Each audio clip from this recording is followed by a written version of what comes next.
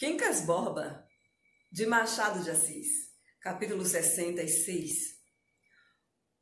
Como ele diz aquelas coisas tão naturalmente, pensou Rubião em casa, lembrando as palavras de Carlos Maria.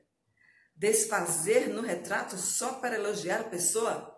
Note-se que o retrato é muito parecido.